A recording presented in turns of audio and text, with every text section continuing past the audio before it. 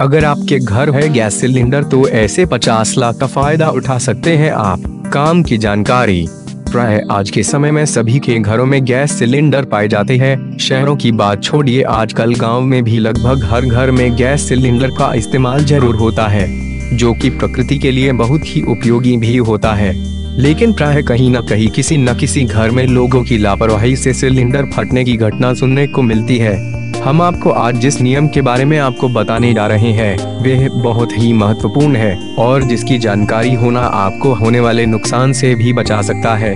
और गलती से अगर कोई हादसा भी हो जाए तो उसकी भरपाई भी की जा सकती है। आज हम आपको बता दें कि हर एलपीजी उपभोक्ता का 50 लाख रुपए तक का इंश्योरेंस होता है, जिसके लिए उपभोक्ता को मासिक प्रीमियम भी नहीं भरना होता है। आपने अक्सर देखा होगा कि घरों में लोगों की लापरवाही से न जाने कितने और किस किस प्रकार से गैस सिलेंडर फटने से कई प्रकार के हादसे हो जाते हैं। लेकिन सच तो यह है कि आम जनता को इसकी बिल्कुल भी जानकारी न होने के कारण आम आदमी उन सुविधाओं का लाभ नहीं उठा पाते हैं। आज हम आपको इस संबंध में पूरी जानकारी आपको बताने जा रहे हैं। तो हम आपको बता दें, जिस व्यक्ति के नाम गैस सिलेंडर होता है, उसके नाम 50 लाख का इंश्योरेंस होता है। अगर कोई भी हादसा गैस सिलेंडर के फटने की वजह से कोई भी हादसा हो जाता है तो गैस एजेंसी उस शख्स के परिवार को 50 लाख का मुआवजा देती है।